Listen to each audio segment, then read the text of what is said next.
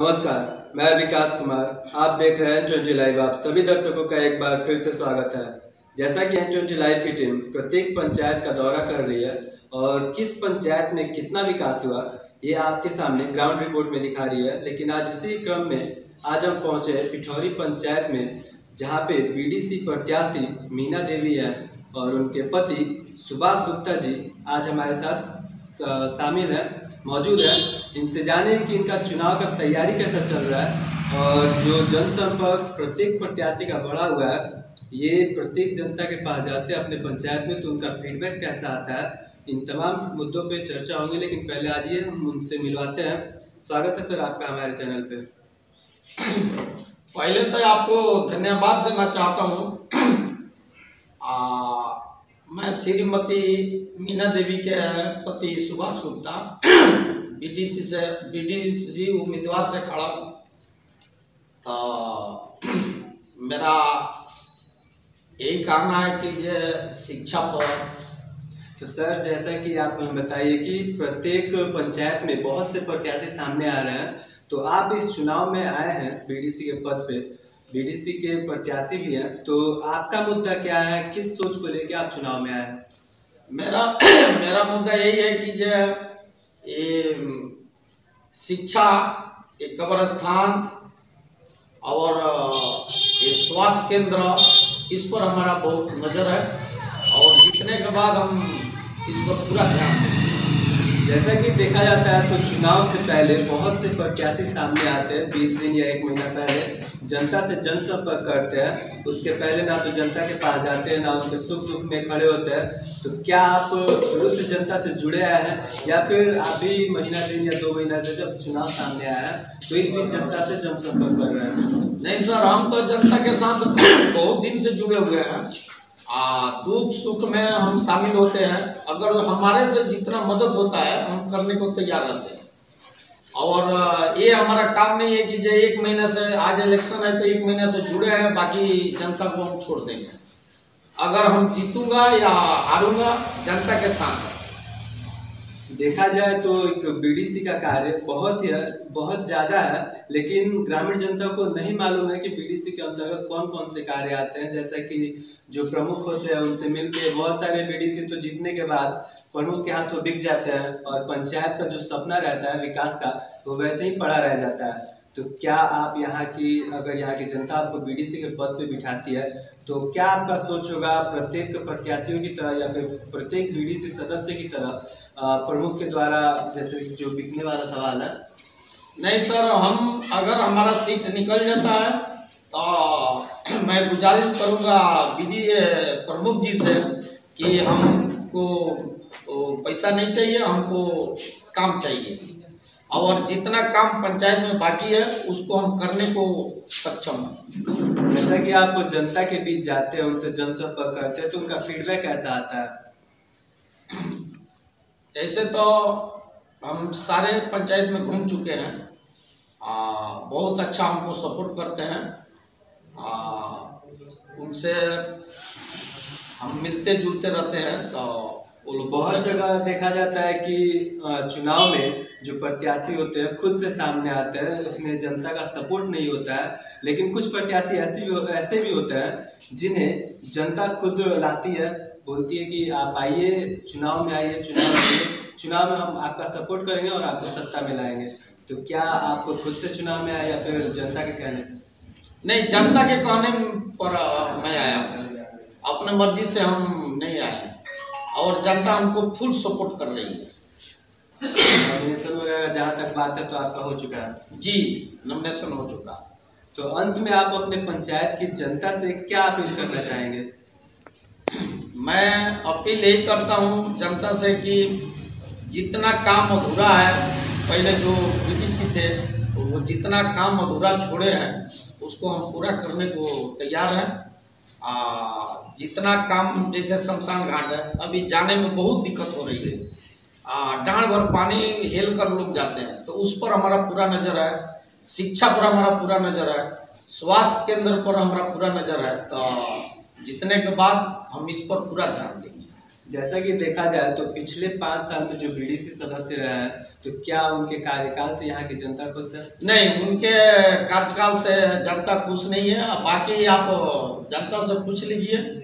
वो आज तक वो गाँव में ये आया पंचायत में कहीं घूमे नहीं है। बस आज वोट इलेक्शन शुरू हुआ है तब तो वो घूमना शुरू किया। नहीं तो पाँच साल के अंदर वो दिखाई नहीं दिया। तो जैसा कि हमारे साथ कुछ ग्रामीण जनता भी यहाँ पे मौजूद है तो आइए हम उनसे जानते हैं कि इनके बारे में इनका क्या सोच है, जैसा कि जो अभी बीडीसी प्रत्याशी है सुभाष गुप्ता जी। तो इनके बारे में इनका सोच कैसा है? क्या ये शुरू से जनता से जुड़े हैं, सुख दुख में साथ खड़े रहते हैं? इन तमाम इन तमाम मुद्दों पे हम बात करते हैं यहाँ की जनता से। उसके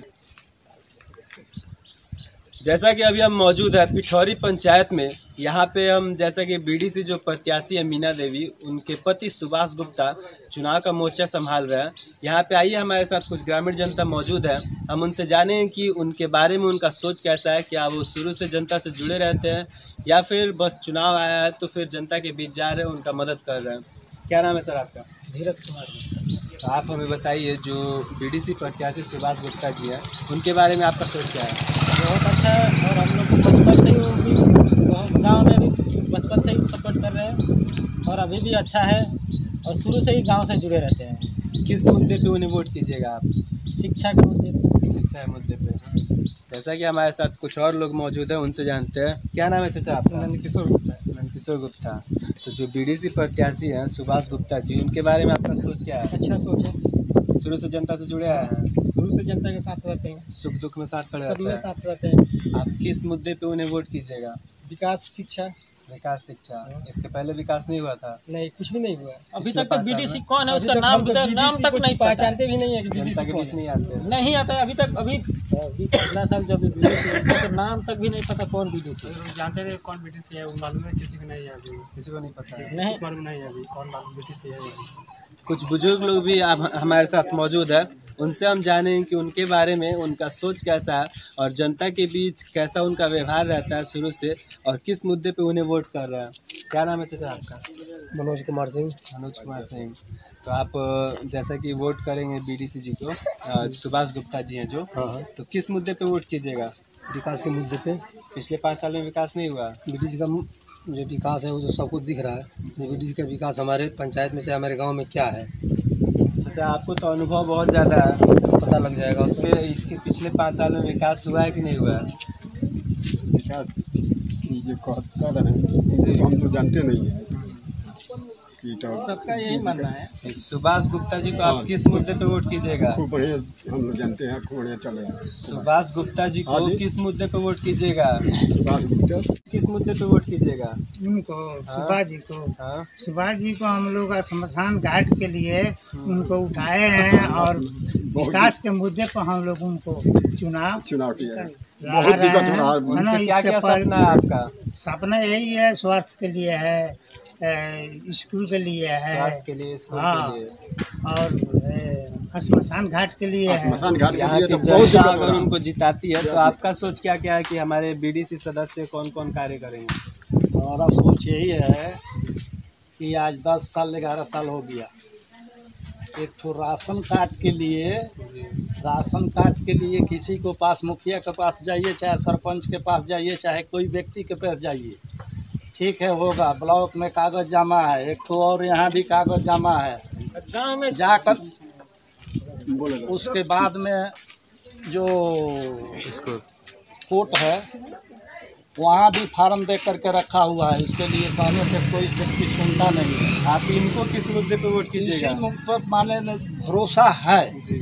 भरोसा है कि शायद हो सकता है कि ये भी मदद करेंगे तो जिसका नहीं है वो बन सकता है। यदि हम जो है जा कर के कहीं सूचना देंगे कहेंगे तबे ना आज ये भी जीत गए तो जा कर के चुपचाप उम्मीद है इनसे। उम्मीद है उम्मीद इसीलिए सहयोग देने के लिए हम लोग तैयार है। अब उम्मीद कामयाब होगा कि नहीं होगा इनको थोड़ा ख्वाहिश करना ही होगा। तो हम लोग का भरोसा है। ये शायद हो सकता है ये परिश्रम परिश्रम करेंगे तो हो सकता है ये कुछ मिल सकता है। बिना परिश्रम से तो कुछ मिलेगा नहीं। आज उसी के लिए ना इन दौड़ते हैं, चाहे घूमते हैं। वही चीज़ के लिए ना जो हम एक चीज़ करेंगे। हम पिठौरी पंचायत में मौजूद थे, जो सुभाष गुप्ता वर्तमान में बीडीसी प्रत्याशी है। तो उनसे यहाँ की जनता को काफ़ी उम्मीद है कि वो सत्ता में आएँगे तो हमारे पंचायत का, जो उनके फंड से विकास का कार्य हो सके वो तमाम कार्यों को पूर्ण करेंगे और हमारे पंचायत को एक विकसित पंचायत के रूप में सामने लाएँगे।